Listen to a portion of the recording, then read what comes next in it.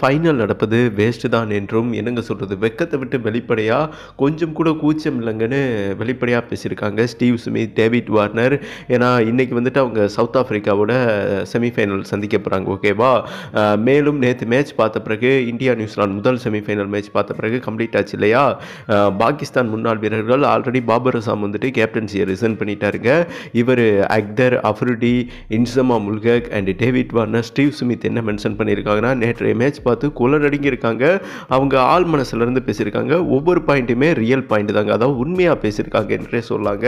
அவங்க என்ன மென்ஷன் பண்ணியிருக்காங்கன்னா ஃபைனல் நடப்பது வேஸ்ட்டு அதாவது சவுத் ஆஃப்ரிக்கா வந்தாலும் சரி ஆஸ்திரேலியா வந்தாலும் சரி ரிசல்ட் வந்துட்டு இந்தியா தான் வின் பண்ண போகிறாங்க அதுவும் ஒன் சைடாக அந்த மேட்ச் வந்துட்டு சப்பையாக முடிஞ்சிடும் என்று இவங்க மென்ஷன் பண்ணியிருக்காங்க. ஆஸ்திரேலியா டீமோட சக பிளேயரே மென்ஷன் பண்ணியிருக்காரு. டேவிட் வார்னர் ஸ்டீவ் ஸ்மித் இதுதாங்க மிகப்பெரிய ஹைலைட்டு அதாவது நியூசிலாந்து வந்துட்டு மிகப்பெரிய டீம் ஓகேவா இப்போ நீங்கள் கடந்த இந்திய டீம் ஒரு நாலு மேட்ச் மோதினதை எடுத்துக்கிட்டிங்கன்னா மினிமம் நானூறு ரன்னு முந்நூறு முந்நூற்றி தொண்ணூற்றி ஏழு ரன்னு மிகப்பெரிய அணிக்கு எதிராகவே ஸ்கோர் பண்ணுறாங்க எந்த பிளேயருக்குமே வந்துட்டு பிசிறு தட்ட மாட்டேங்குது. சேம் டைம் பேட்டிங் வந்துட்டு ரொம்ப வலுவாக இருக்குது போக போக போக அதாவது ஸ்ரேயஸ் ஐயர் கேஎல் ராகுல் இவங்களோட பேட்டிங் திறன் வேறு லெவலில் உயர்ந்திருக்கு. அண்டு சுபன்கல் பேட்டிங் திறன் ஒன்றுமே பண்ண முடியல. அவங்களிடமிருந்து வெற்றியை தட்டி பிறப்பது சும்மா சொல்லிக்கலாமே தவிர ஆனால் அது என்ன சொல்கிறது மிகப்பெரிய கடினம். ஃபைனல் போய் ஆஸ்திரேலியாவோ ஆர்எஸ்ஏவோ ஜெயிக்கன்னு நினச்சா அது ஏமாற்றமே மிஞ்சும் மிகப்பெரிய முட்டாளாக போய்விடும் என்று முட்டாளாக்கி விடுவார்கள் இந்திய பவுலர்ஸும் சரி இந்திய பேட்ஸ்மேனும் சரி.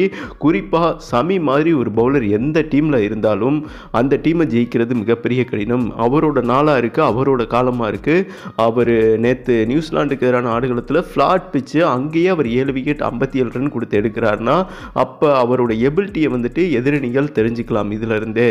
அதாவது டெஃபினட்டாக இந்தியாவோட ஃபைனல் வர்ற டீம் முதல் பவர் பிளேலேயே கிட்டத்தட்ட முதல் பேட் பண்ணாங்கன்னா ஒரு ஆறு அஞ்சு விக்கெட் விட வாய்ப்பு இருக்குது ஒரு நூற்றி ஐம்பது ரன்னில் இரநூறு ரன்குள்ளே சுருட்டி போட்டு இந்தியா இருபது ஓவரில் சேஸ் பண்ணிட்டு போயிடுவாங்க ஃபைனல் நடப்பது வேஸ்ட்டு தான். ஒரு ஃபார்மாலிட்டிக்கு வேணால் இந்த ஃபைனல் நடக்கலாமே தவிர ஆனால் கப்பு வந்துட்டு இந்திய அணிக்கு தான். அதில் எந்த வித மாற்றமும் இருக்காது என்றும். ஏன்னா இப்போ எல்லா டீம்லேயுமே பதினோரு பிளேயர்களுமே சிறப்பாக ப்ளே பண்ணல. அதாவது ஒரு எட்டு பிளேயர் ஒரு டீமில் சிறப்பாக ப்ளே பண்ணுவாங்க.